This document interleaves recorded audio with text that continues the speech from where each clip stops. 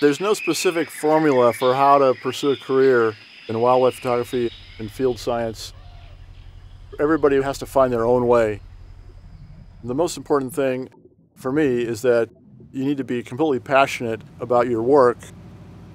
It's more of a lifestyle than a job. My name is Tim Laman. I'm a field biologist and a wildlife photographer. I live in Lexington, Massachusetts near Boston, and I work all over the world, but I especially spend a lot of time going to the tropical rainforest regions of the world, such as the Amazon and especially New Guinea and Indonesia.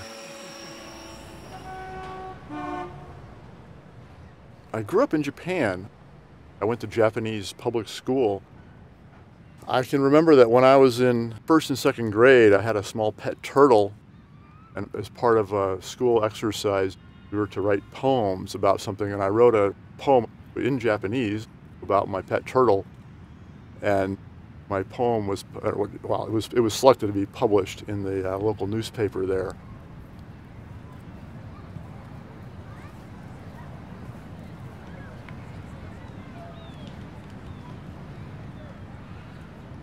So I guess my first publication was this little poem I wrote about my pet turtle in second grade.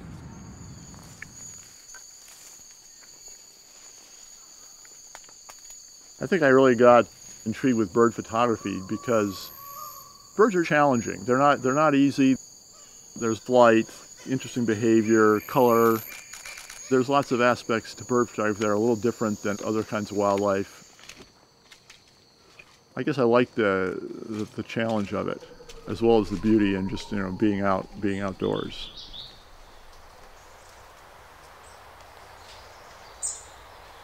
When I was 12, on one of the one of the summers when we were back in the United States, my father took me on my first real sort of experience in the wilderness. He took me on a canoe trip up in Boundary Waters canoe area in Minnesota, where we paddled our canoe off into the wilderness and spent a whole week. And I don't think we saw anybody for several days.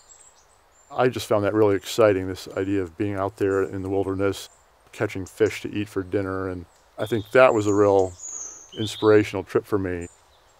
I really developed this, this love of wild places that I keep seeking out to this day.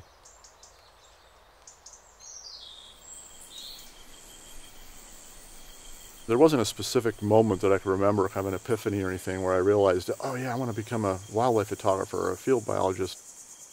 It was a gradual process of pursuing various things that interested me and finding my way to this current career that I'm pursuing. When I went to college, I was very interested in biology. I began to look for opportunities to get involved in research and field work.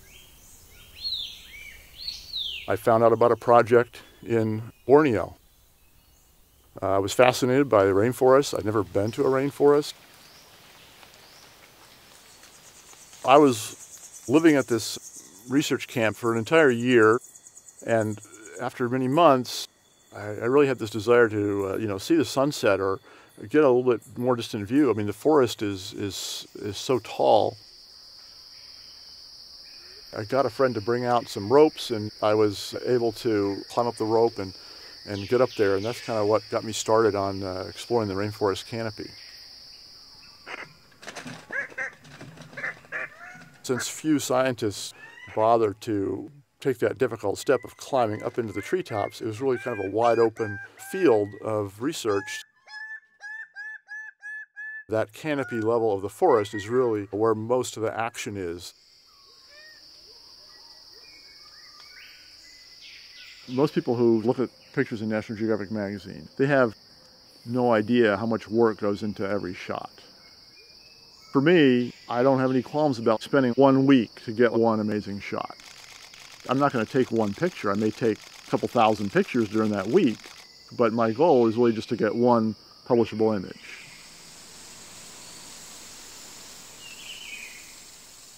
What I'm doing now, being a wildlife photographer as well as a scientist, it really kind of requires a combination of skills or mindsets.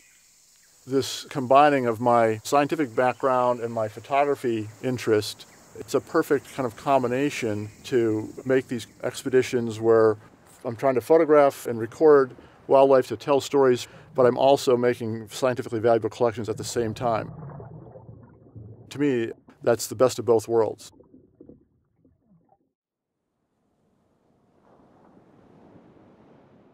I really enjoy going to these remote places, and I love the experiences of seeing the wildlife, being there firsthand and seeing a Parotia bird of paradise do its incredible ballerina dance right in front of me. But then the really satisfying thing about it is that I'm able to share it with others and have people see these places that they wouldn't get to see. Being able to be the eyes to tell the stories and to share that with people around the world makes it really satisfying.